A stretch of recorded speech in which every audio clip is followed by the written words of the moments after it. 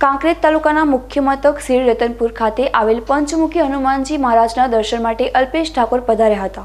તે દરમિયાન ઠાકોર સમાજના આગેવાનોની મીટિંગ કરવામાં આવી હતી. આ મીટિંગમાં વ્યસન મુક્તિ માટે આહવાન કરવામાં આવ્યું હતું. જેમાં અલ્પેશ ઠાકોરે જણાવ્યું કે, બે હજાર બાવીસમાં ભાજપનો ભગવો ફરીથી લહેરાય અને ઓનલાઈન સદસ્યતા અભિયાન અંતર્ગત સૌથી વધારે ભાર મૂક્યો હતો.